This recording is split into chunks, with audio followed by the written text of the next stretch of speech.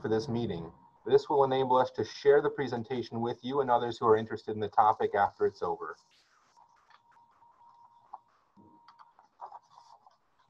And now that we're just about ready to get started, Ike would like to say a few words regarding University House Wallingford and our speaker today. Thank you, Elliot. As an era living community in affiliation with University of Washington Retirement Association, our residents benefit from the partnerships developed with the University of Washington Schools of Nursing, Social Work, and Pharmacy to deliver innovative programs designed with healthy living in mind. We are pleased today to have with us Dr. Nick Bond, who has joined us today to present on a timely topic, climate change and the Puget Sound's marine ecosystem. Dr. Nick Bond is a principal research scientist with the Cooperative Institute for Coastal Ocean and Ecosystem Studies of the University of Washington. He has a PhD in atmospheric sciences from the UW. He is, his research focuses on the weather and climate of the Pacific Northwest and the linkages between the climate and marine ecosystems of the North Pacific. He is the climatologist for the state of Washington and, in his own words, proud to be, proud to be a weather geek. Please welcome Dr. Nick Bond to University House Wallingford. Thank you, everybody. And I'm going to take the opportunity to share my screen. And let's, what you should be seeing here is a one of the best drawn marlin you'll ever see for our very own David Horsey, um, editorial cartoonist for a long year, for a long time with the PI and now back with the Times. Can everybody see my screen and hear me fine? Hearing no objections. Yes, we can hear you, Dr. Bond. Yes. All right. Very good. Um, I, this I like to start off with this cartoon on this uh, subject because, like all good satire, it hits kind of uncomfortably close to home to be we're not expecting marlin in the next few decades in the puget sound but um, the times are changing and what's going to happen to the sound is um, a, a, subject of a lot of interest and importance i would say. What we're going to uh, oh, i need to get what we're going to do today here is talk about climate change and what it's liable to do to the marine ecosystem in Puget Sound. I'm gonna, um, it's gonna be a whirlwind tour of um, uh, a marine heat wave that we had a few years ago and whether that, uh, how much we've learned from that, a little bit about what we've seen in the historical record, what are the projections are showing, and I wanna um, uh, finish off with uh, kind of some words of optimism, the actions that are being taken right now on behalf of Puget Sound that gives us reason to, um, you know, for hope. And all this is under kind of the lens of an uh, the ecosystem implications, you know, from the, the biological side. Before we get started, I want to start with a little factoid that I think um, people will find fascinating. Certainly I did. And that is basically important salmon in the Pacific Northwest was to the economy in the late 1800s going into the early 1900s. Um, there were you know, tremendous runs in the Columbia River, but in the Puget Sound rivers too. And due to um, uh, increase uh, or improvements in the technology of canning, that resource was exported uh, to the eastern US and all the way to Europe. And there were boom times. A supervisor on a canning line could make $500 a month in the late 1800s. Unskilled Chinese immigrants uh, provided room and board could make $200 a month, which was maybe 20 times what they could make in China. There was plenty of discrimination and mistreatment and so forth, but there were boom times. And in fact, a historian uh, and also a publisher of a small newspaper in Southwest Washington has some pretty persuasive evidence that the little town of Chinook, Washington, near the mouth of the, the Columbia on the Washington side, um, had the highest average income of any municipality in the entire US for a number of years there in the late 1800s, basically because of salmon. The fishers did great you know, the runs were going great and, you know, they didn't last forever and all that, but salmon was, um, was a big deal. All right. But uh, let's, uh, you know, let's talk about the issue at hand here. Here's just a map of um, Puget Sound and uh, part of the Strait of Georgia, what's commonly now referred to as the Salish Sea. Um, it's kind of tilted on its side, so you're going to have to tilt your head to look at it in a familiar way. The darker the blue, the deeper the water. And one thing that's kind of interesting about um, uh, Puget Sound, the Salish Sea, is that it is relatively fertile, uh, productive compared to most fjords. In fact, there's a book entitled The Fertile Fjord, and in part that is because of uh, this bathymetry and um, the what it means when the uh, with the tides and so forth there's a greater mixing of water from below with nutrients up uh, to, to near the surface that kind of can fuel the whole uh, food, uh, food chain. And so compared to most fjords around the world, um, the Puget Sound is actually very productive.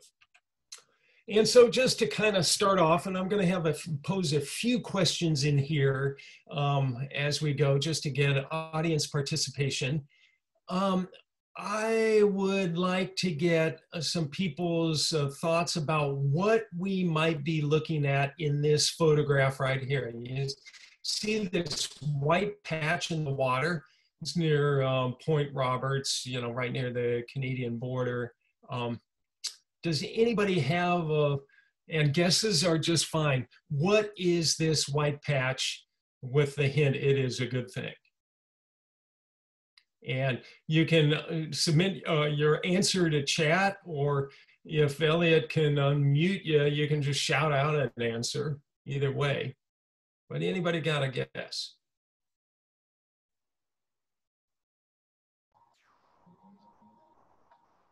And Dr. Bond, we've got one guess, eggs of a marine creature. Oh, you're muted, Dr. Bond. Let me unmute you here.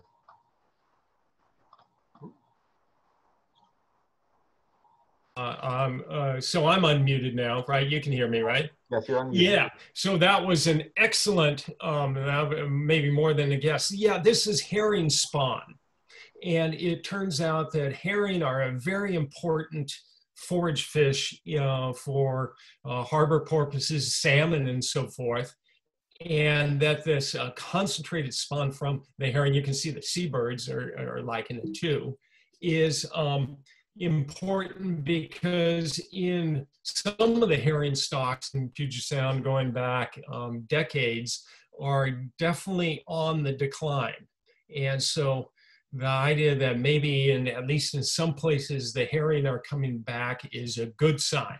And so again, uh, tip of the hat to the person who got that answer right. All right. Um, as uh, you know, promised or threatened, depending on your point of view, I want to kind of look back at the uh, the marine heat wave, uh, otherwise known as the um, the blob that occurred a few years ago, because it was kind of a wake up call for the climate community it turns out uh, why it was such a big deal is if you look at water temperatures off the coast of the Pacific Northwest, and we have decent estimates actually going back to the 1890s, there's um, year to year variations in kind of warm periods and cold periods. And then in just the last few years, 2014 to 2016, there was this um, huge spike in temperatures off our coast, unprecedented. And it had you know, all sorts of um, implications for the marine ecosystem, both um, in the open ocean and here in the Sound. And speaking of the Sound, a time series not going back nearly as far, but um, uh, some work that was put together by um, the uh, Department of uh, combination Department of Ecology in King County, just showing uh, this top trace here shows kind of overall heat content in, in Puget Sound uh, from 2007 through 2019. These red bars show the years of the blob where it was a lot more heat in the Puget Sound than usual. The, this middle bar chart shows salinity for what it's worth, and it was kind of a lot of fresh water there. And then importantly, this bottom chart shows dissolved oxygen concentrations in the sound with this uh, period of warmer water. Uh, uh, the, the red bars show deficits in oxygen content that uh, can be a big deal for the marine ecosystem, some species. And so associated with that were some, um, some very notable fish kills in Hood Canal, for example. There's a red rock crab, an English sole. I'm not sure what those guys are, maybe sand lance or an eel pout or something. But there were some big fish kills uh, noted when the waters were really warm in Puget Sound and in many places low in dissolved oxygen. Just another way to kind of look at that is for a particular place in the southern part of Hood Canal, where we have time series from a mooring uh, in 2010 through 2015 shown here that shows how the oxygen varies with depth, where this zero means, um, well, meters from the surface. And so the, the top part is right near the air sea interface and you're going down to 30 meters. Redder colors in this uh, chart show more oxygenated water, the blue colored low oxygen contents. And in um, Hood Canal, there's a kind of an ongoing problem with periods of low oxygen concentrations. But here in 2015, it, especially in the uh, lower part of the water column, it really started early in the summer and got really bad where the concentrations were getting uh, to the uh, uh, point where certain species were suffocating. And uh, we were really bailed out. There was a very strong storm that came through in the late August of 2015 that kind of stirred up that water column and kind of, um, uh, you know, kind of reduce that effect. And if we hadn't had that storm, I don't know what would have happened. But again, this was um, some serious things that were associated with the blob in Puget Sound. And it wasn't just in marine waters, but in the freshwater habitat. I think uh, when I gave the talk at um, University House uh, last fall, uh, I may have had the same figure, and so you're getting it again. But anyway, this is an example of the stream flow in the Nooksack River South Fork for what it's worth, uh, from January through September of 2015. This blue trace shows how much water was coming down the, the hill um, day by day. Um, and the gold triangles show what the average is for that time of year. And uh, during the um, that winter, it was really warm there was plenty of rain, but not much snow. And so we had some floods on a lot of the rivers in Western Washington, but uh, very little snowpack. And so the flow in the many rivers went, uh, you know, into the toilet. There's a less polite way to put that, but uh, declined much earlier in the summer than it usually uh, does.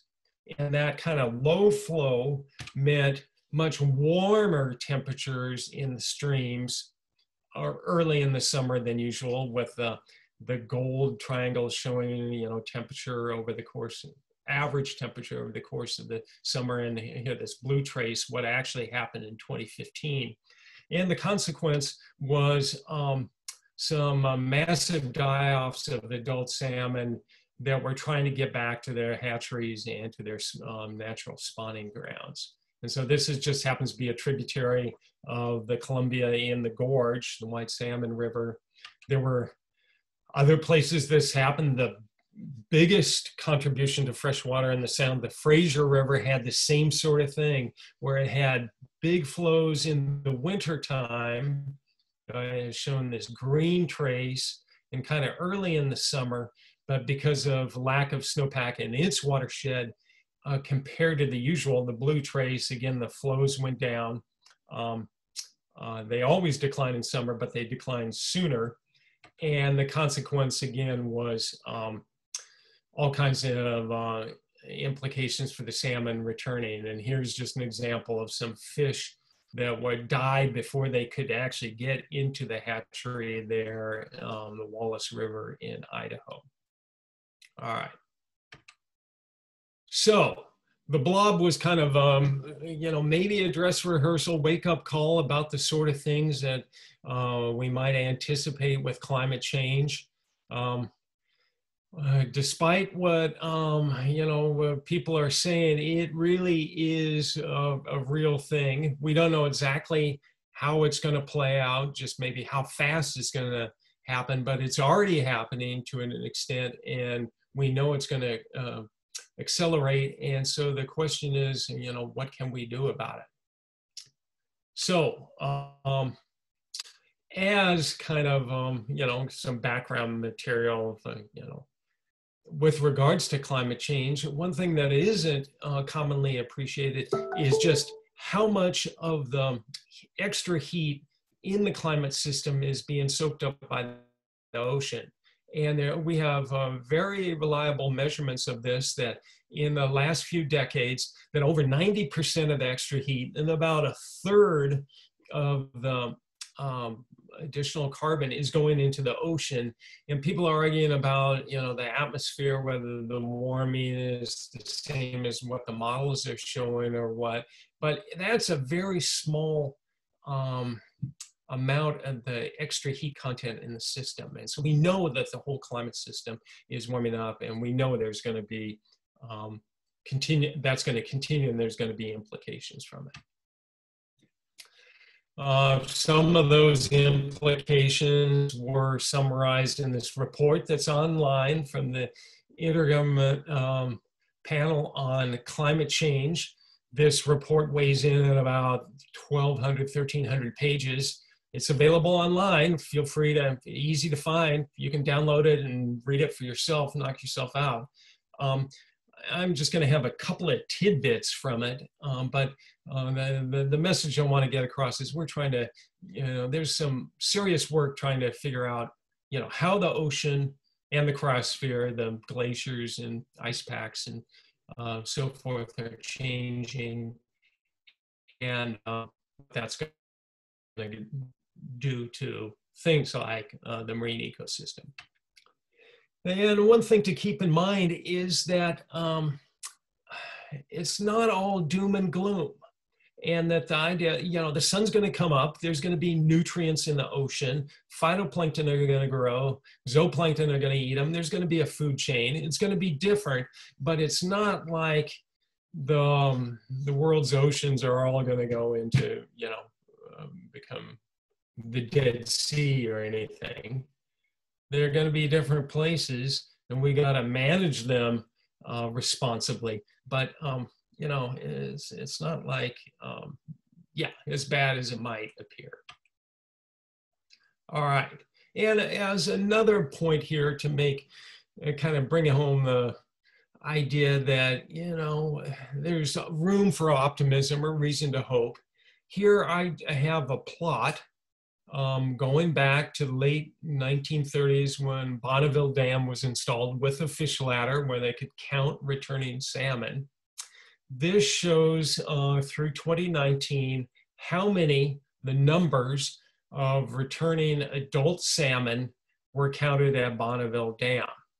And to be sure, these numbers here early in the record in the 40s through 80s or so forth, uh, between a quarter million and a half a million fish returning each year is far is a lot smaller than the historical runs in in the 1800s um, we have you know estimates maybe uh, 10 20 times that.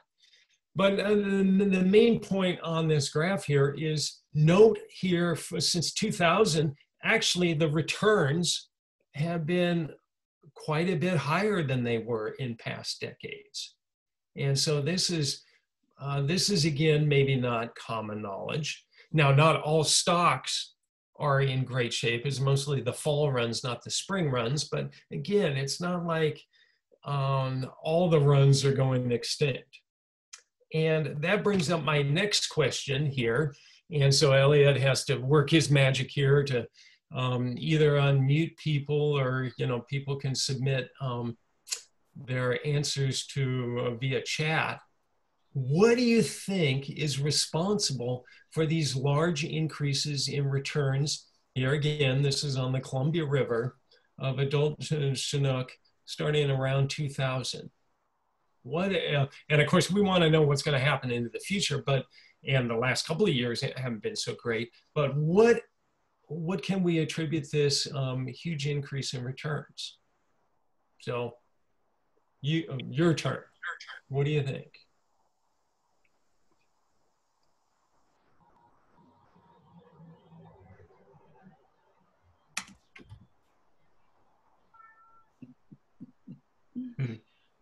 Don't be bashful. We have uh, one guess, fishing regulations. Ah, that's um yeah that's part of it. Yeah, there's a, um, a, a much um you know depending on your point of view you know kind of uh, more restrictions on both sport fishery and commercial fishing and so forth. I don't think that it, that's a certainly a factor. I'm not sure if it's the leading factor. And so, anybody else? We have another guest that says dam removal. Ah, uh, that, that's close enough that I got to give credit and, you know, get that guy a cigar or something, or gal a cigar. Yeah, it's actually um, practices, uh, freshwater practices and there and passages. Um, um, you know, at that point, we weren't, I hadn't removed that many dams, but uh, improving fish passages, um, both to get the juveniles down to the ocean in good shape and um, allow the adult salmon to get back to their hatcheries and spawning grounds and that sort of thing. That's a lot of it here. A lot of it also has to do with um, better ocean conditions for the fish when they went to sea as youngsters. And so, um, again, you know, the main point here is, boy, you know, compared to many decades of these kinds of returns, we did have some very good runs um, in, um, in recent years. Now, uh, I should say 2015, there were a lot of fish that got to Bonneville Dam that weren't able to get to their spawning grounds again because their the water was so warm, but at least there were a lot of adults returning. All right, thanks for your responses. Now, uh, when we talk about the changes you know, with climate change, it's not just temperatures that are changing. Uh, I don't want to go through all the details of this um, conceptual model here, but the chemistry is changing. There's going to be, um, you know, obviously what the atmosphere is doing, the storminess perhaps, um, rises in sea level. Um, and so it, it's a very kind of complicated system and um, we're still not sure how it's all going to play out but we're doing our best to try to figure this out again so we can manage it you know, more responsibly. And speaking of you know some of the um, the kind of interactions between different parts of the system.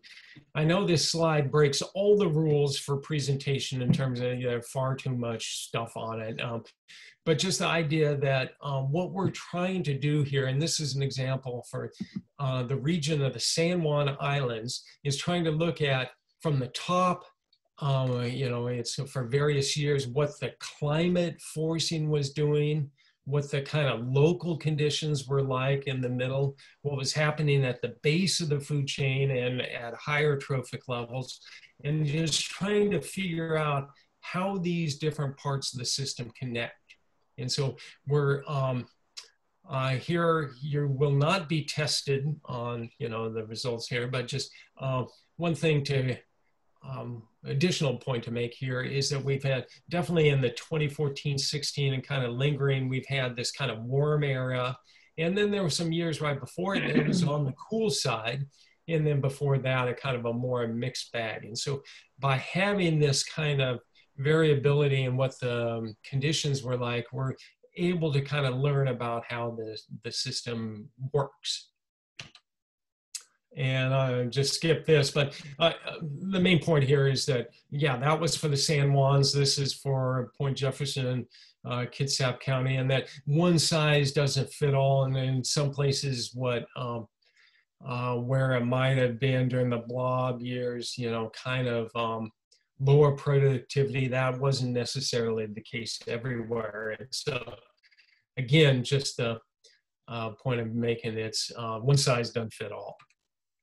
Speaking of, of um, phytoplankton and the base of the food chain, one thing that we've been seeing recently that happened to an extent before, but I, I my understanding is to a, in a bigger way than um, than we've seen for a while is um, just some of the species of the the phytoplankton that are uh, you know kind of uh, growing and prospering in Puget Sound.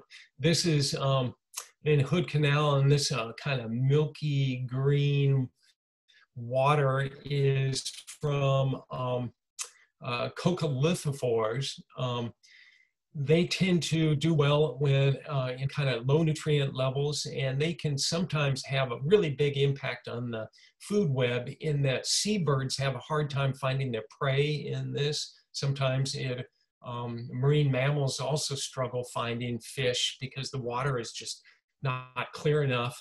Uh, some zooplankton don't like to eat them so much. And so um, this is something that, if not alarming, it's just kind of interesting that we had such a massive uh, coccolithophore bloom in our waters recently. One thing that's definitely happened around here is that sea level is rising we have a tide gauge in Elliott Bay that um, had uh, good measurements of that back you know, over a century. And uh, uh, different places have different um, uh, rates of sea level rise just because of um, the geology of the region and the kind of recovery from the last ice age. But much of the Puget Sound area is um, the sea level is rising and there are implications of that. The other thing, um, what the climate models are showing, um, um, you know, getting back to the, the basics here, is that it is, um, we're liable to see warming, um, both, in, uh, you know, especially in the North Pacific. This particular uh, map shows how much warmer in degrees Celsius. Uh, the models as a group are suggesting kind of under a worst case scenario um, in the kind of the first part of this century, 2006 to 2055, um, averaged over those years versus the latter half of the 20th century. And you can see uh, definitely uh, warming, especially in the higher latitudes of the North Pacific. What may be more relevant to our backyard is just what's well what's happening around here. And uh, what I was able to dig up here was more just looking at the end of this century, um, uh, the uh, the warming that's expected that the models are predicting um, uh, compared to kind of the, the start of this century. And here, the redder the color, the more the warming. Uh, the yellow ones less so. And what you can see here is, and there's um, uh, general acceptance of this, is greater warming in the uh, and these are surface temperatures right along the coast then in Puget Sound proper itself. And that's in part because the water that's coming into Puget Sound, a lot of this I think is comes in at depth where there's going to be a slower rate of warming.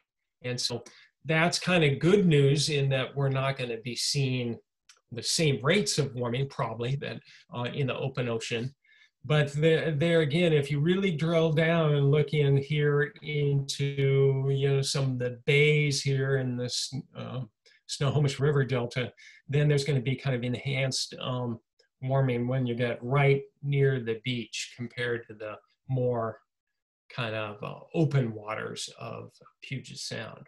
And this could have implications for juvenile salmon, um, uh, among other species. The other thing we're expecting with warmer air temperatures is um, more rain and less snow in the winter time.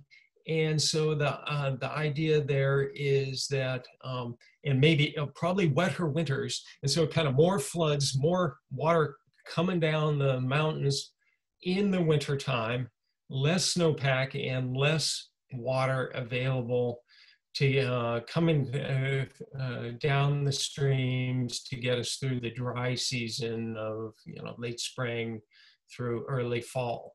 What these charts show, you know, are changes here. Um, 2050s, this middle row, 2080s, the bottom row. It kind of depends what the world does as a whole in terms of greenhouse gas emissions, fossil fuel combustion, and so forth, with this high or 8.5 scenario being kind of a worst case sort of thing. But the, the, the idea is that if we continue along the path we're on, that the there's going to be, uh, especially toward the end of the century, considerably more runoff in winter than we're kind of used to and that the fish are adapted to, and a lot less runoff in the summertime when stream flows are already uh, kind of on the low side. And uh, what that means is, um, yeah, a different kind of seasonality in the flow on our rivers. Uh, the Samish River that is up in Northwest Washington, uh, very low elevation watershed, gets um, mostly, almost exclusively rain right now.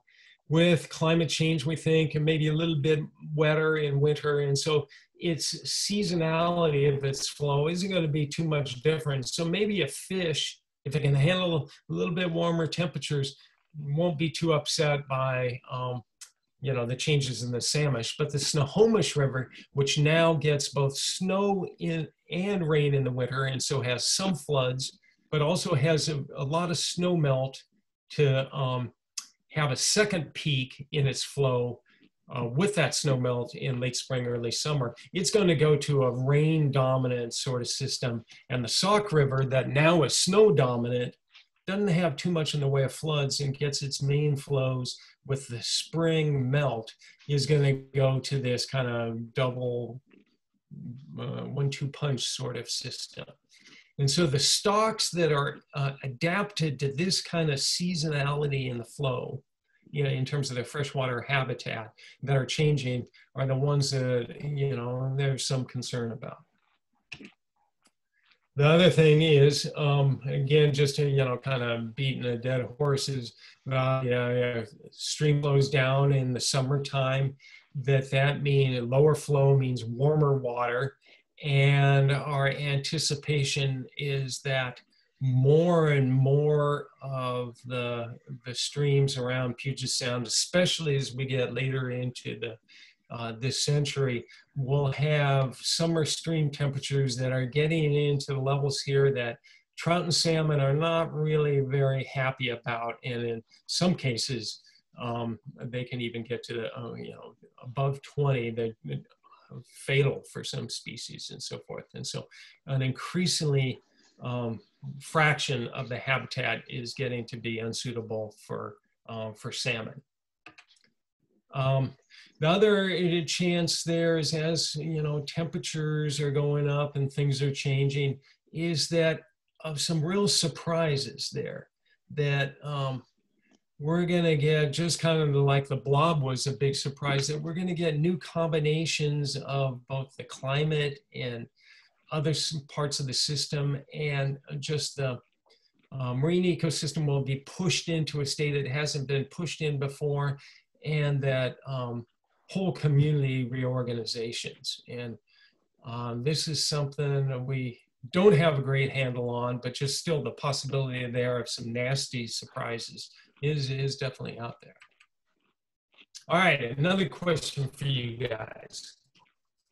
Um, here, uh, you know, I've talked about the marine heat wave, the blob, and of course we have all, for you know, always had uh, heat waves on land, right? land-based one. Uh, last week we got to 94 at SeaTac, and it was pretty hot here for a couple of days. So the question to you guys: Do you think there's going to be, um, just based on what our models are showing and kind of thinking about the how this system uh, works? Do you think there's going to be a uh, greater increase in the frequency of the land-based or marine heat waves? And here, you know, it's kind of, you got one, uh, you can pick one or the other. So it's easy, easy question, right? And hopefully we'll get answers from both parties. Anybody?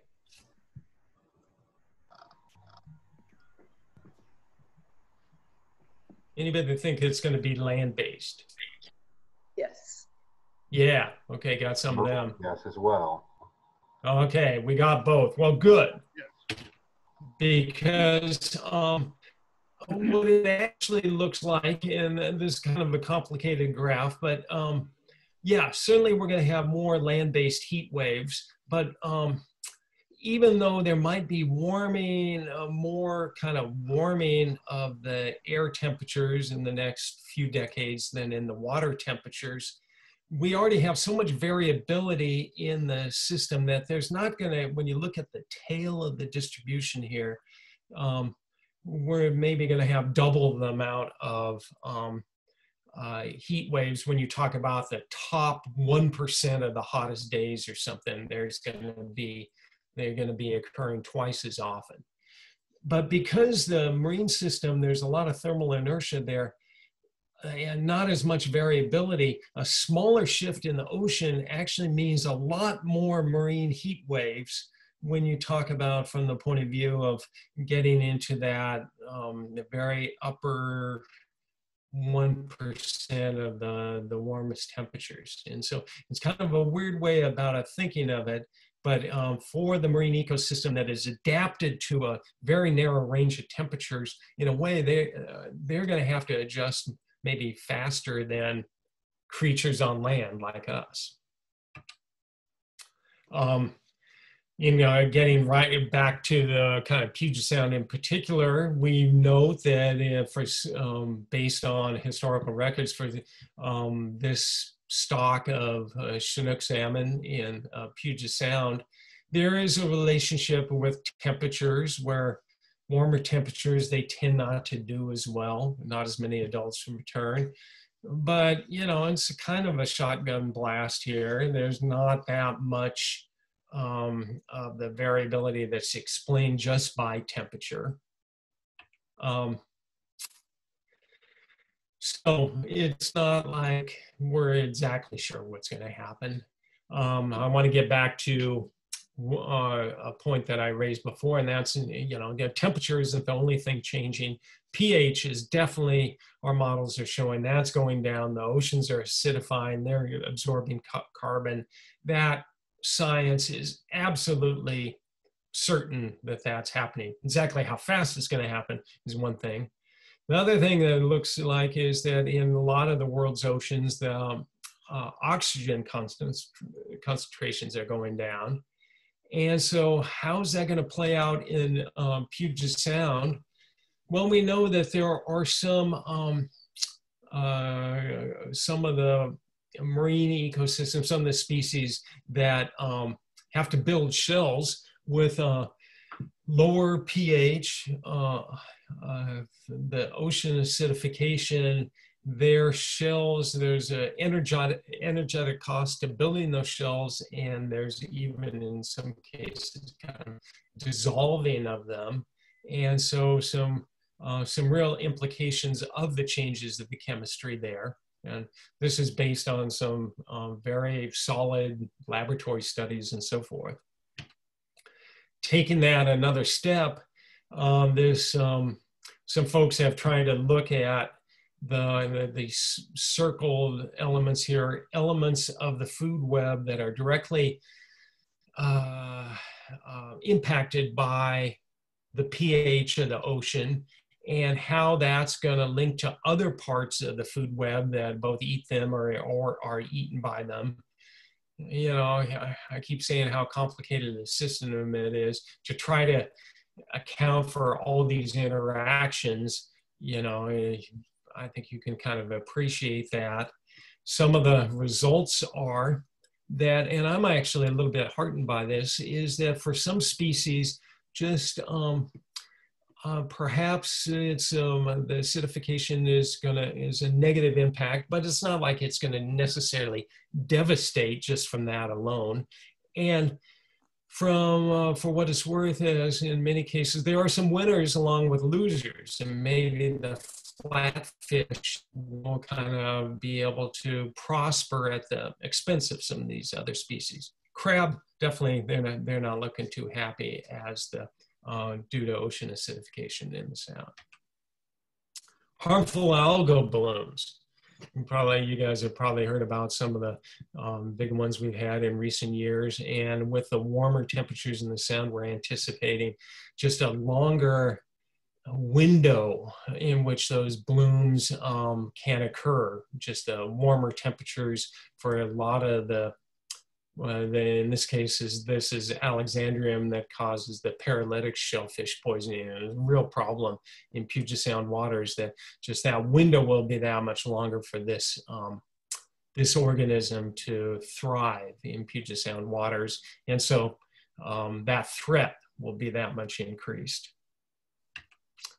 Uh, another thing, um, uh, getting back to a point I made before, sea level is rising going to continue to rise. There's no stopping it.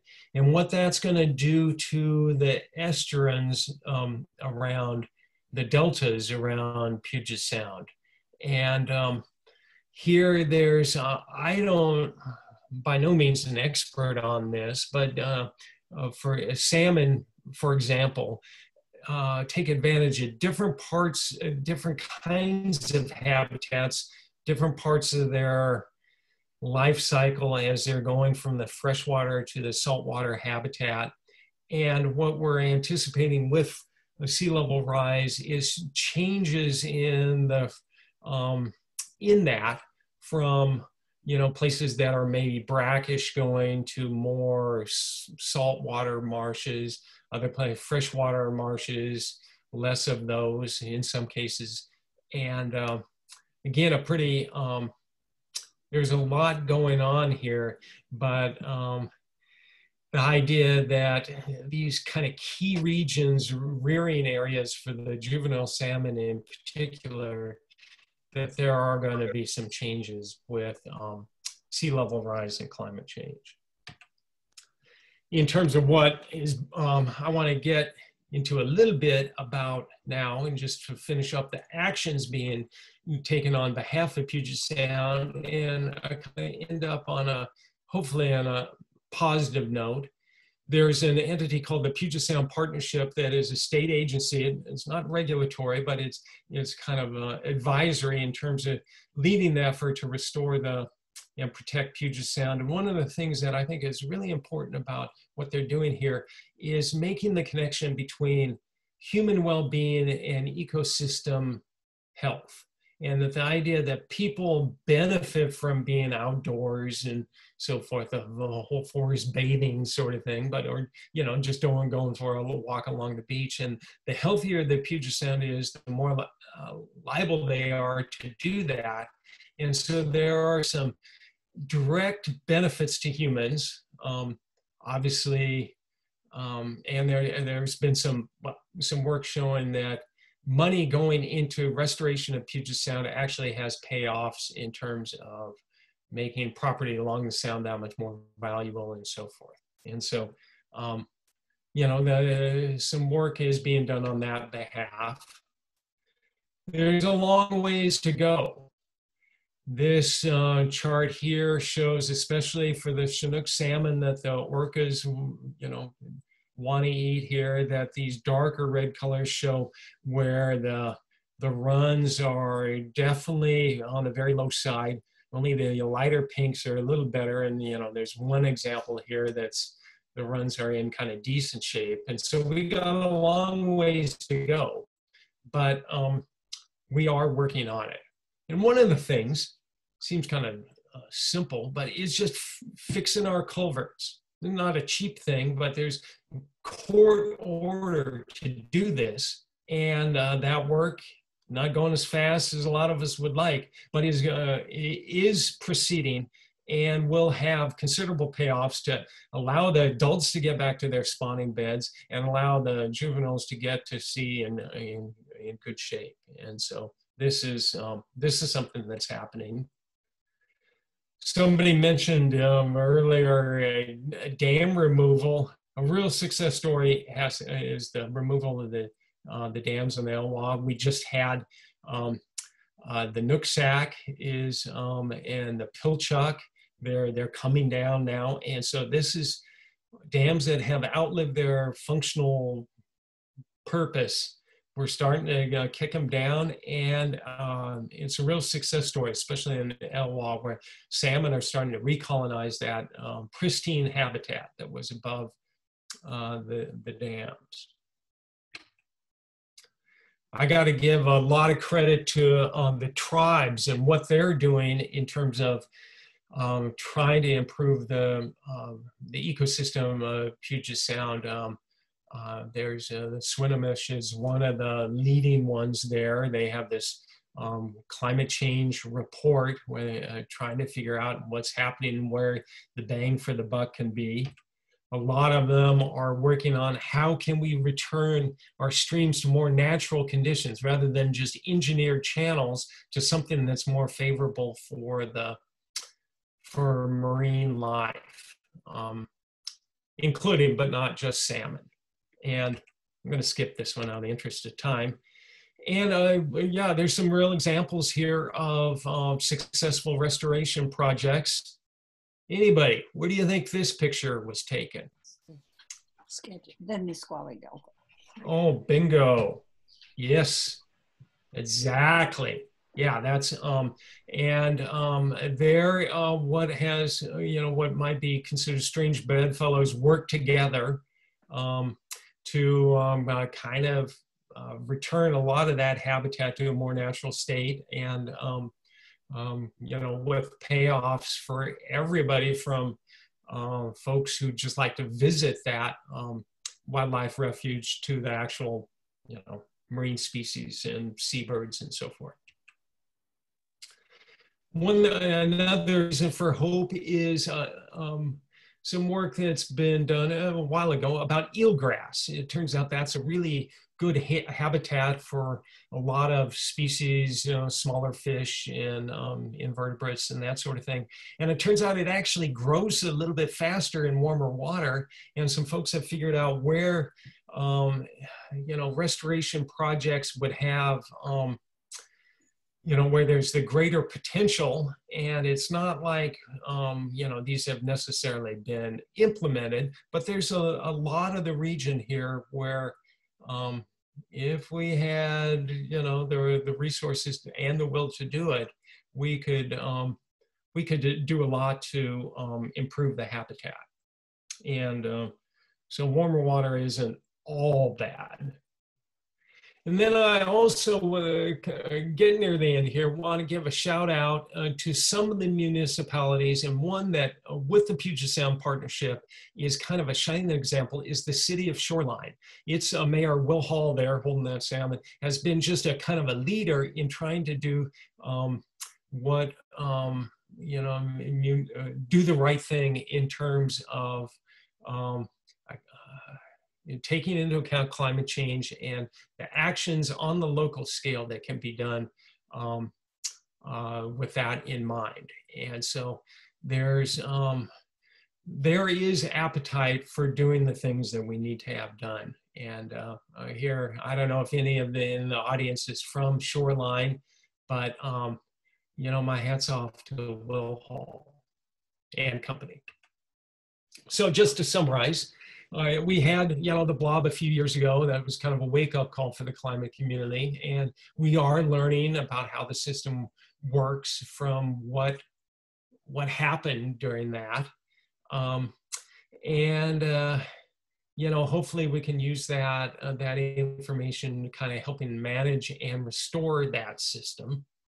And um, I know there's a lot of pressing issues, um, both on a national and the kind of regional level and that sort of thing. I would argue that we actually have some of the resources to, if not bring Puget Sound back to the condition it was in 1850 or something, to help maintain its uh, viability. And um, there, um, you know, you've kind of tuned into this talk, and I imagine that I'll have a sympathetic audience here. But um, there are actions being taken on behalf, and there's that's going to be continuing. And so I'm uh, looking forward to doing a, the little bit that I can do to kind of help um, uh, promote that, and um, you know, keep this place. Uh, uh, as um, beautiful and healthy as we can. And so with that, I um, appreciate your attention and let's open it up for questions. All right, thank you so much, Dr. Bond. We really appreciate your time today and the truly veritable wealth of information that you shared with us. Uh, we did have one question that came in a little bit earlier. It was while you were talking about uh, whether it would be more likely to have marine or land heat waves. And the, the person asked, would marine heat waves or higher marine temperatures have an effect on hurricanes at all? Uh, yeah, good question. And um, the what uh, it seems to be the case, both in the historical record and what our climate models are showing with all their warts and the imperfections and so forth, is that the hurricanes, yeah, um, uh, they need warm water, and there won't necessarily be more hurricanes or tropical cyclones, but the very strongest ones will be that much stronger. And uh, there's kind of, um, yeah, the very uh, strongest ones are in the Western North Pacific where the water is especially warm. And we've, um, we know that, that how warm the ocean is kind of gives an upper limit to how strong the storm can be. So it's, it's not so much how many, but the, the with warmer water, the very strongest ones will be that much more intense and obviously, you know, that much bigger a deal depending where they go. And remember, if you do have questions, you can ask them in the chat. Uh, we have another one that just came in. It says, given the expected increased summer upstream temperatures, how much impact on salmon survival can downstream habitat restoration and dam removal have?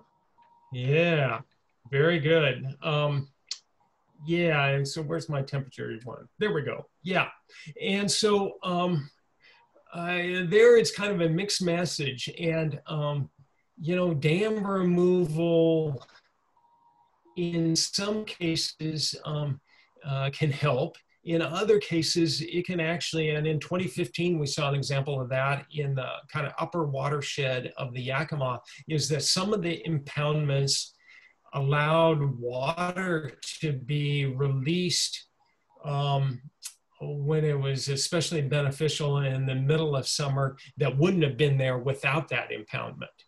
And, um, but in other cases, um, that uh, allowing that water to kind of get warmed up behind the dam, um, especially um, if it's a kind of shallow reservoir, that leads to um, increased uh, stream temperatures.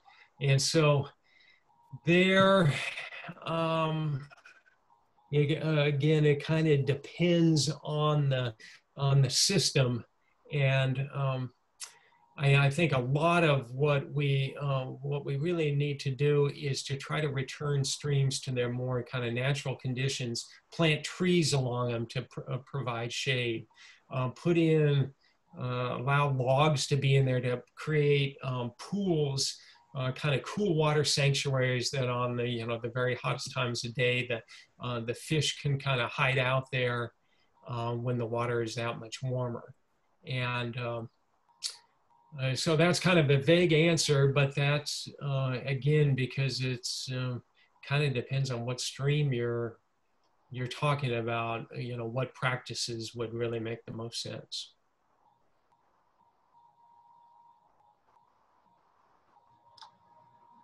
Well, we'll give it another few seconds to see if any more questions come in.